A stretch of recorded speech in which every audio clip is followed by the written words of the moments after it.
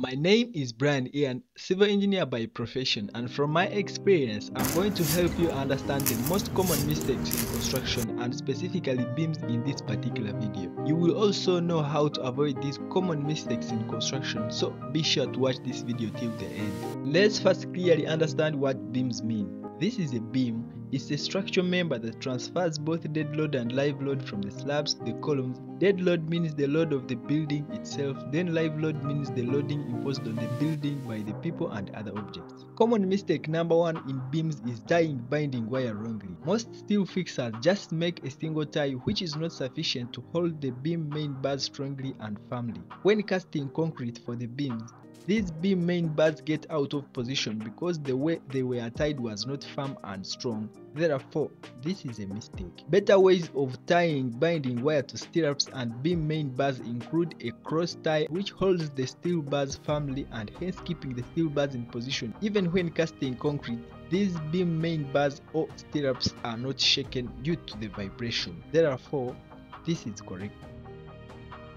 Common mistake number two in beams is not providing a sufficient development length. Development length in beams is this extra length that transfers load or stress from the steel bar to the concrete. What most steel fixers do or masons is that they simply cut the beam main bars like a straight line, tie on stirrups and just cast concrete which is wrong because it will end up cracking. The correct version or what should be done is providing the development length for bottom bars and top bars then for middle bars you can just fix them here. Therefore this one on the left is wrong and this one on the right is correct. Common mistake number 3 is using less bar diameter in plinth beams. What I have seen on a number of projects is that for the plinth beams or the ground beam, most steel fixers or contractors simply fix 10mm bars at the bottom and maybe 12mm or 10mm at the top here, which is wrong. The correct version or what is supposed to be done is that the minimum bar size here at the bottom should be 12mm. Maybe you can use 10mm here on top. That's okay but at the bottom the minimum bar size should always be 12 millimeters. Then the minimum bar size at the top here will be 10 millimeters.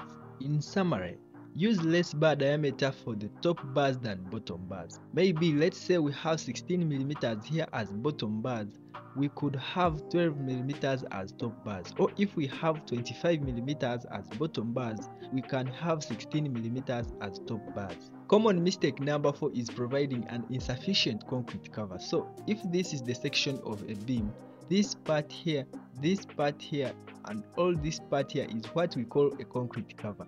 Taking this beam as an example the mistake that i see all the time is that after tying steel for the beam carpenters simply fix timber boards or steel plates as formwork this side and later cast concrete here with no spacer blocks here or here this means that steel bars on one side will remain exposed even after casting concrete which will lead to corrosion. The correct version is fixing spacer blocks here on the right and on the left so that this steel can properly be balanced in the middle here. Therefore, after casting concrete, this steel will be fully covered with concrete this side and this side hence no chances for corrosion. The minimum concrete cover in beams should not be less than 25 mm. Common mistake number 5 is the wrong size of the plinth beam. What most contractors do is that they simply make the depth and the width of the plinth beam the same which is wrong. The correct version is that for plinth beams or ground beams like this one, the depth should be higher than the width.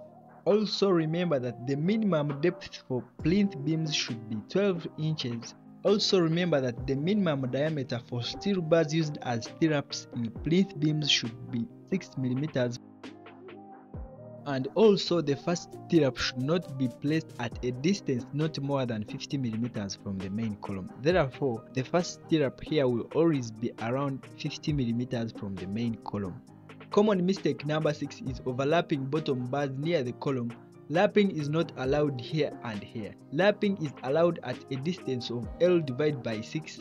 L is the cutting length of the beam main bars and 6 is a constant. Do not provide lapping for bottom bars at the center here, but for top bars, it's absolutely fine to provide overlapping at exactly L divided by 2 in the middle here.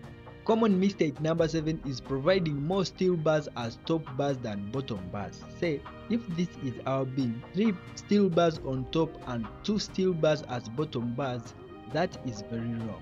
This is the compression zone and this is the tension zone. Concrete is weak in tension, therefore we should provide or we should use maximum number of steel bars in the bottom position and minimum number of steel bars in the top position. Therefore, the mistake that I normally see in most contractors is that for example, making 3 steel bars as top bars and 2 steel bars as bottom bars 4 steel bars as top bars and 3 steel bars as bottom bars and this is a big mistake. What is correct is fixing 3 steel bars as bottom bars and 2 steel bars as top bars or 4 steel bars as bottom bars and 3 steel bars as top bars. Common mistake number 8 is failing to put ties at the beam and column joint. Let's say this is a column and this is a beam extending this extreme end. What most steel fixers do is that they fix ties up this point and then cast concrete, leaving out this part with no ties. What is correct is fixing these ties up this point here Stirrups for the beam will stop here, but column ties will go up this extreme end. I hope I'm clear. Common mistake number 9 is wrong arrangement of steel bars at connecting points with columns. What most steel fixers do is that they simply fix steel in such way that you find it on one side and not on the other side. What is correct is fixing steel bars so that they can balance both sides. Common mistake number 10 that I see all the time is placing wood or plastics or any other materials act as concrete covers at the bottom here or on the sides. For example, under all these beams, these steel fixers used wood instead of spacer blocks, which is wrong. Use concrete spacer blocks to provide the required concrete cover.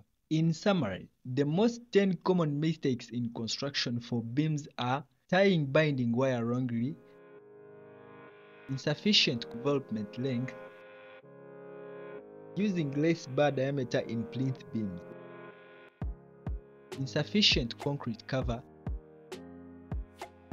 the wrong size of the plinth beam, overlapping bottom bars near the columns, fixing more steel bars at the top than the bottom, failing to provide ties at the beam and column joints, placing wood, plastics or any other unapproved materials to act as concrete covers wrong arrangement of beam main bars at connecting points with columns. I also provided the correct version of what is supposed to be done. In case you have any questions, be sure to ask them in the comment section. I will answer all your questions immediately. That's the end of this part 3 about the common mistakes in construction that is beams. Be sure to watch this video on the right about the common mistakes in slabs and how to avoid them. Thank you so much for watching. Música